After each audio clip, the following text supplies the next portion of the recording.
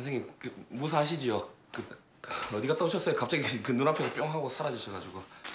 덕분에 뼈에 사무치는 경험을 하고 왔네요, 제가. 야 나가 있어.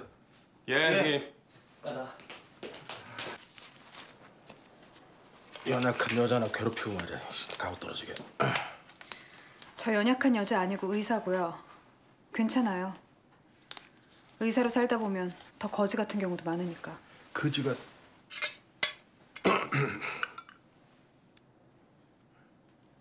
살리고 싶은 사람 살리지 못했을 때, 살리기 싫은 사람 살려야 할 때,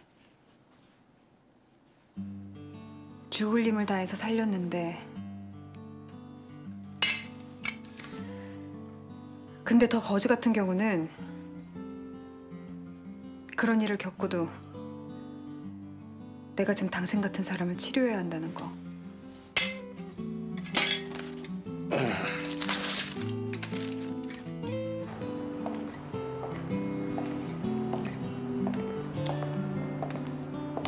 최 선생의 나에 대해서 어떻게 생각하는지 이제 상관없습니다.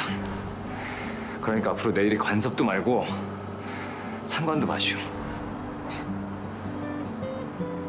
누구 맘대로.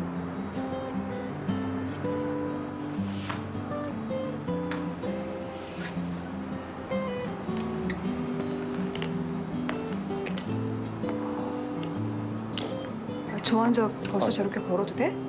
경과 좋은가 보다. 그럼 누가 수술했는데 경과에 좋지 좋은데 너 지금 나 동정하냐? 왜 그래? 아 이제 다리 못 쓰게 된 거 알고부터 계속 저런다 뭐 불구됐다고 생각하니까 아무래도 자존심 상하겠지 아니 그깟 자존심이 뭐? 아니 부인이 빨리 응급조치해서 목숨까지 건졌는데 뭐 다리 하나 불편하다고 못 살아? 그럼 걱정하는 부인 마음은 몰라?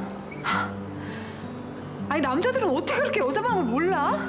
아니 왜 왜 도대체 얘가 오늘 따로 왜 이렇게 더 까칠하냐 너 안 괜찮구나 약 먹자 여기 한번 들어가자 약 먹자 어, 내 토순이. 아빠, 내 토순이 떨어졌어. 어.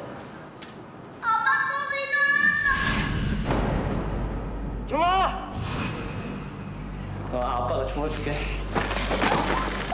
여보! 아, 난리 난리 좀. 아,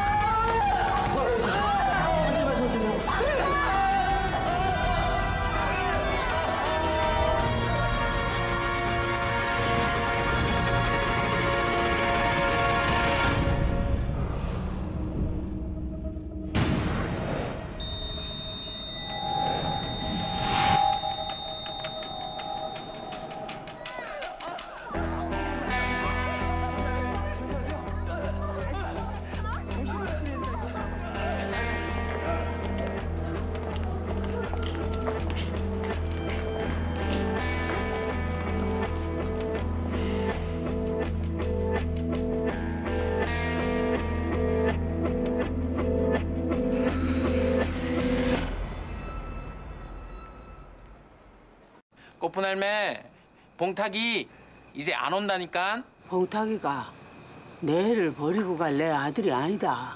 어디다 감춰놨노? 내 나라구만. 내 나. 꽃분 할매 우리가 감춘 게 아니라 지가 기억 아, 할머니, 봉탁 씨가 오늘은 바빠서 못 오고요. 나중에 온대요. 내 허리도 아프고 무릎도 아프다. 봉탁이가 내집 놔줘야 된다.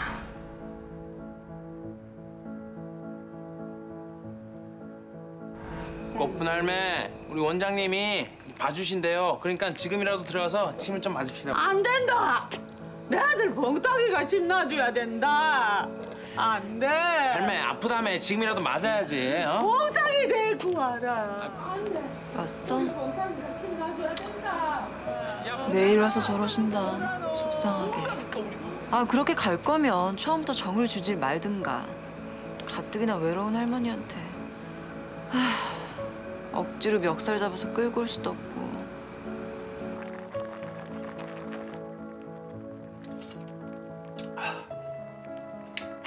그놈 참. 애를 반쪽을 만들어 놓고 가타부터 말 한마디가 없네 그랴. 응? 어, 어 왔니? 그래, 몸은 좀 어때요? 괜찮아? 며칠 쉬니까 말을 안 듣고 전랑은 어이 앉아. 내가 저 환기 좀 넣고 연포탕 끓였다. 여쭤볼 게 있어요. 응? 여, 여쭤볼 건 뭐? 아버지 교통사고 난 날. 저 거기에 있었죠. 얘, 얘가 뜬금없이 그 무슨 말도 안 되는 소리를 대답해 주세요, 할아버지.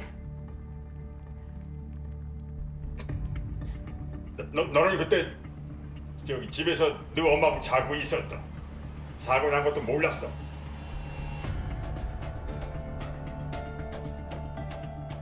저도 그런 줄 알았죠. 말씀 안 해주실 거예요?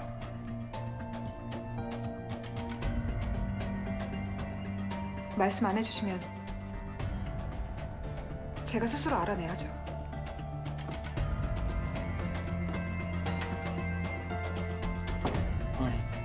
지가 어떻게 그걸? 설마 그때 기억이 안 되는데